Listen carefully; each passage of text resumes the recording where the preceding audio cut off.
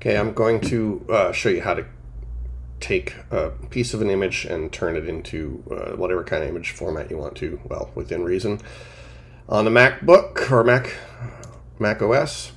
So here's my file. I specifically want to open it with preview. So if it doesn't open with preview automatically, you can right click, open with preview. And if you don't see preview here or anywhere in this list, you can go to other, which will bring up all of your apps, scroll through that until you find preview, and then open.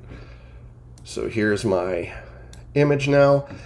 In preview, and I'm going to select this little pen thing that is the markup toolbar.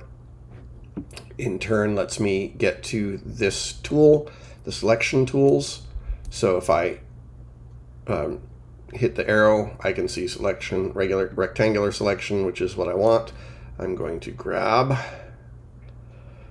this area. So click, hold, drag to create the area that you want. And then I can say copy that area. Now I'm going to go to file. So that was edit, copy. Now I'm going to go to file, new from clipboard.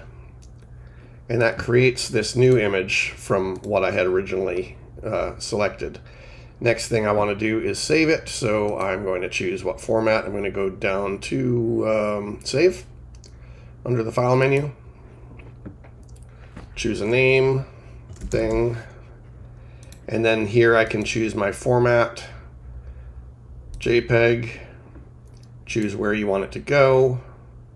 I'll put it, uh, whatever, there, save. And now that file is done. It's called thing.jpg, and wherever I saved it, that's where you'll find it in the future.